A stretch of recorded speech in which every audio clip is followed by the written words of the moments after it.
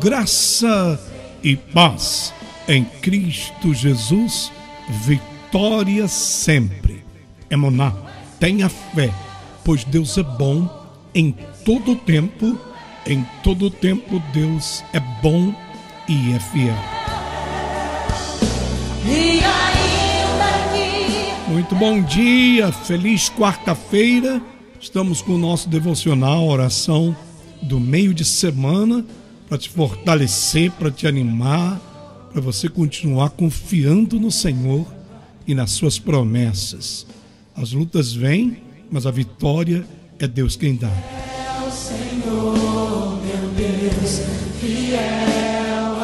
Quero chamar a atenção dos irmãos para o nosso, nosso culto dominical às oito e meia da manhã, o horário aqui de Austin, Texas, o culto em português que nós mandamos para as células, tá bom?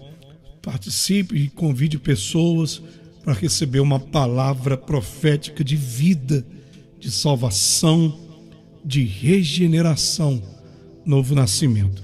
O devocional de hoje, quarta-feira, é testemunho, da fidelidade de Deus. Testemunho da fidelidade de Deus. Salmos 34, versículo 1. Salmo 34, 1 diz assim: Bendirei ao Senhor em todos os momentos, e o seu louvor estará continuamente na minha boca. No Senhor a minha alma se gloriará.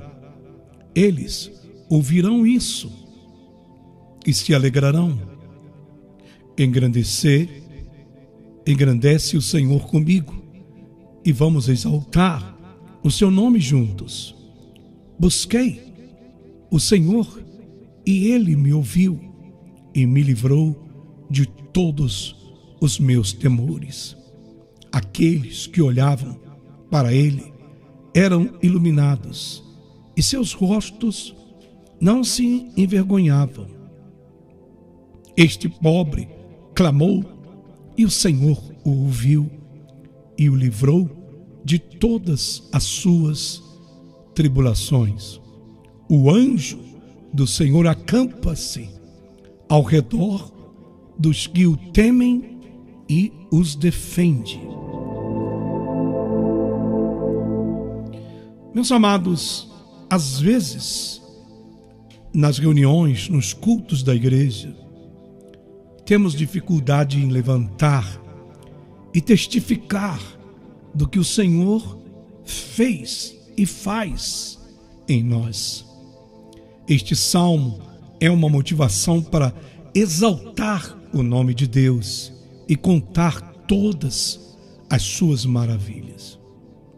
Às vezes nós perdemos o foco. Às vezes os nossos problemas parecem intransponíveis. E podem ser se nós confiamos apenas em nossas próprias forças e paramos de olhar para o Deus que promete nos sustentar, nos libertar das aflições que nos afligem. Quando paramos de nos concentrar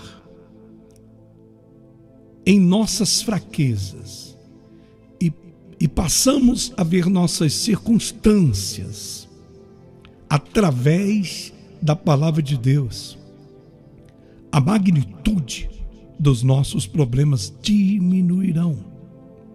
Então, a magnificência de nosso Deus será visível. Podemos ver a sua bondade e fidelidade apesar de nossos problemas. Ou seja, em outras palavras, quando você vê os teus problemas como grande, você não pode ver a grandeza de Deus. Você tem que diminuir os teus problemas e exaltar a grandeza de Deus. Porque nós, como cristãos, temos que decidir adorar a Deus. Caso contrário, as muitas preocupações, preocupações dessa vida vão tirar o tempo de fazê-lo. Salmista diz: Bendirei ao Senhor em todo o tempo, e o seu louvor estará continuamente na minha boca. Isso significa que devemos louvá-lo em todo o tempo, independentemente das circunstâncias, sejam elas boas ou más. Minha alma se gloriará no Senhor. Ou seja, a adoração deve ser centrada em Deus, em seu propósito.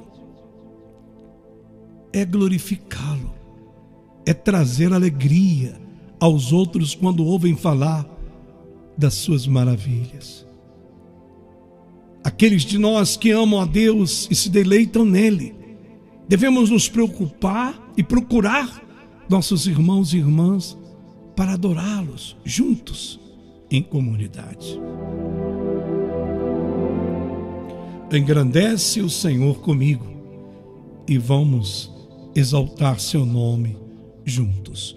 Tome o azeite da santa unção, unge o alto da sua cabeça, as palmas das tuas mãos, as plantas dos teus pés, e ore comigo, amoroso Deus. Ajude-me a lembrar do seu poder e do seu amor e a adorá-lo em todas as circunstâncias e situações.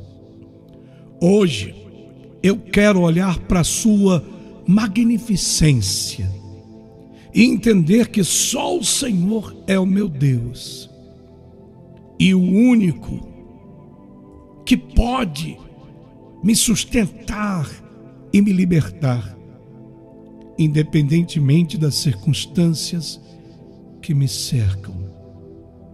Eu quero que o louvor esteja continuamente na minha boca e os problemas não me façam perder a alegria de estar na tua presença, porque os teus anjos estão acampando ao meu redor. Ah, Senhor, nós queremos contar o nosso testemunho para glorificar ao Senhor e que isso seja um exercício da nossa fé. Que quando olhamos para o Senhor, deixamos as nossas necessidades, dificuldades nas Suas mãos e buscamos o Senhor de todo o coração, porque o Senhor promete nos libertar e nos dar uma resposta. Por isso que a Bíblia diz: chama a provar a nossa fé e ver como o Senhor é bom. É um convite para acreditar, temer ao Senhor falar de reverência e de obediência a Deus, porque nada falta àqueles que o temem, porque o Senhor Deus é fiel e supre as necessidades de quem o busca e o teme. Senhor, venha livrar os cativos nessa manhã. Eu venho com a autoridade do teu poder rompendo, destruindo, Senhor, quebrando as prisões, os grilhões, as cadeias, as correntes do mal e que sejam livres em nome de Jesus.